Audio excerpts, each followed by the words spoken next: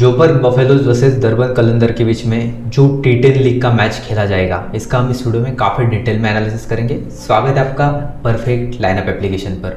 देखिए, हम इस वीडियो में एक स्मॉल लीग की टीम क्रिएट करेंगे, उसके साथ साथ ग्रैंड लीग के कुछ कॉम्बिनेशन भी आपको इस वीडियो में मिलने वाले वीडियो आपको लाइक करके स्टार्ट करना है प्लस आपको यहाँ पर चैनल को सब्सक्राइब ज़रूर कर लेना है, क्योंकि ऐसे ही कंटेंट आपको यहाँ पर मिलता रहेगा। तो चलिए शुरू करते हैं इस एनालिसिस को। पहले तो हम देख लेते हैं भिन्न पिच रिपोर्ट यहाँ पर क्या होने वाला है। तो देखिए, ये जो मैच है, ये यहाँ पर खेला जाएगा, जो हरारे स्टेडियम में, वहाँ पर अगर आप इस पिच का हालचाल देखोगे तो फ़र्स्ट इनिंग का एवरेज स्कोर आपको यहाँ पर 110 रन का दिखाई देता है। हर इनिंग में लगभग पाँच विकेट के आसपास यहाँ पर गिर जाती है। और अगर आप कंपेयर करोगे जेबीपी और डीक्यू की टीम को तो यहाँ पर डीक्यू की जो टीम है आपको यहाँ पर इंपॉर्टेंट दिखाई देंगी, वो पॉइंट्स टेबल पर दो नंबर पे चल रही है और जो जेबीपी की टीम है, वो नीचे से दो नंबर पे चल रही है। तो आपको प्रीफर करना है यहाँ पर डी की टीम को। अगर आप टीम यहाँ पर क्रिएट करोगे तो तो चलिए हम यहाँ पर देख लेते देखो, ये जो वेन्यू है, यहाँ पर स्कोर कैसे बन रहा है, हम देख लेते 110 के ऊपर यहाँ पर पाँच बार स्कोर गया है। उसके बाद पचहत्तर से 110 के बीच में यहाँ पर पाँच बार स्कोर हुए हैं। यानी आमतौर पे आपको मान के चलना है कि स्कोर आपको 100 डेढ़ सौ या फिर 110 120 के आसपास दिखाई देगा।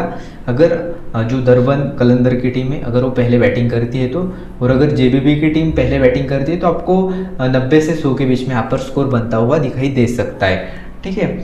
देखिए यहाँ पर अगर आप बैटिंग बॉलिंग का रेशियो देखोगे तो ज़्यादा आपको अंतर नहीं दिखाई देगा। बैटिंग बॉलिंग को यहाँ पर इक्वल सपोर्ट होता है। पेसर स्पिनर्स का अगर आप देखोगे तो यहाँ पर भी आपको कुछ ज़्यादा अंतर नहीं दिखाई देगा। स्पिनर्स यहाँ पर सिक्सटी प्रतिशत डोमिनेट करते हैं। थोड़ा सा स्पिनर्स को यहाँ पर एक्स्ट्रा सपोर्ट होता है।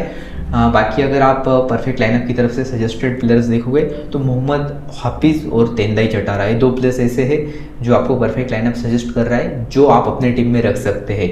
अगर आप जेबीबी की जो टीम इनकी तरफ़ से बैटिंग ऑर्डर देखोगे तो इसमें टॉम बेंटन विल स्मिड यम शुम्बा और मोहम्मद हाफिज टॉप ऑर्डर होगा। और अगर आप डीक्यू की टीम को देखोगे तो इसमें हजरतुल्ला जई टीम सिपर्ट एंड्रू फ्लेचर और आसिफ अली, इनकी तरफ़ से टॉप ऑर्डर होने वाला है। थोड़ा सा नीचे चलते, जब भी ये दोनों टीमें आमने सामने आती है तो head performance wise top players में टॉम बेंटन और मोहम्मद हाफिज का नाम को दिखाई देगा। उसके बाद इस वेन्यू पे टॉप परफॉर्मर्स में मोहम्मद हाफिज और टीम सिपर्ट ये दो प्लेयर्स ऐसे हैं जो यहाँ पर अच्छा परफॉर्मेंस करके गए हैं। पावर प्ले में यहाँ पर कौन सा प्लेयर है जो बॉलिंग कराता है? तो इसमें ब्रिंटन मसा काटजा और ब्रैड इवांस का नाम आपको दिखाई देगा, और डेथ बॉलिंग में। मोहम्मद हाफिज और मोहम्मद आमिर, ये दो ऐसे बॉलर हैं जो डेथ में बॉलिंग करा के जाने वाले आपके लिए। तो ये कुछ यहाँ पर इस मैच का जो बेसिक एनालिसिस था, हमने देखा है। अब हम अपनी जो टीम है, उसकी तरफ़ चल लेते। ठीक है तो देखो हमारी जो स्मॉल लीग की टीम है, वो क्या होने वाली है? तो वो आपके सामने, देखो हमने विकेट कीपिंग सेक्शन में Mustafizur Rahim Tim Seifert Andrew Fletcher और टॉम बेंटन। ये चार विकेट कीपिंग ऑप्शन है हमारे पास। हमने चारों को कवर किया है। और अगर आप बैटिंग सेक्शन देखोगे तो हजरतुल्ला जजाई हमारे टीम में रहेंगे। ऑलराउंडर सेक्शन में जॉर्ज डेंडे उसके बाद मोहम्मद हाफिज और ब्रैडी ये तीन प्लेयर हमारे टीम में रहेंगे। और बॉलिंग ऑप्शन अगर आप देखोगे तो इसमें नूर अहमद मोहम्मद आमिर और तेंदाई चटारा ये तीन प्लेयर्स आपको बॉलिंग ऑप्शन में दिखाई देंगे। अब इसमें हमने कैप्टनसी दी है। मोहम्मद हाफिज को सबसे सेफ़ कैप्टनसी ऑप्शन आपके लिए क्योंकि बैटिंग बॉलिंग दोनों से कंट्रीब्यूट करके देंगे आपके लिए।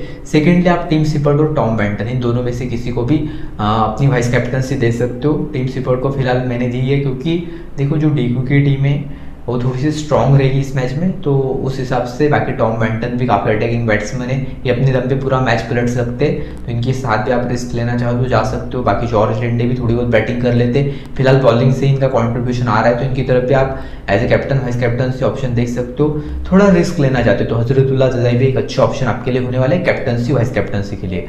तो ठीक है, अगर आप एक बैकअप टीम देखोगे हमारे स्मॉल लीग की तो इसमें हमने जो ब्लेसिंग मुजरबानी है जूनियर डाला है। इन प्लेयर्स को अपने टीम में जगह दी है तो आप थोड़ा बहुत रोटेशन इन प्लेयर्स के इसमें भी कर सकते हो। नूर अहमद एक अच्छे ऑप्शन होंगे आपके लिए कैप्टनसी वाइस कैप्टनसी के लिए। ठीक है? तो ये हमारी स्मॉल लीग की टीम है, लेकिन फाइनल टीम ए है नहीं। फाइनल टीम आपको टॉस के बाद परफेक्ट लाइनअप पर मिलेगी। परफेक्ट लाइनअप का जो लिंक है आपको डिस्क्रिप्शन कमेंट सेक्शन दोनों जगह पे दे रखा है। पहले तो आप चैनल सब्सक्राइब कर लीजिए और डिस्क्रिप्शन में जाके आपको परफेक्ट लाइनअप अपने मोबाइल में इंस्टॉल कर लेना है। आपको सिर्फ़ यहाँ पर फाइनल टीम ही नहीं मिलती। टॉस के बाद की सारी अपडेट्स प्लस आप यहाँ पर हर एक फैंटेसी मैच का पूरा प्रीव्यू देख सकते हो, जो आपको एक अच्छी टीम बनाने के लिए मदद करता है। ठीक है? तो चलिए मिलते अगले वीडियो में, तब तक के लिए खुश रहिए, मुस्कुराते रहिए।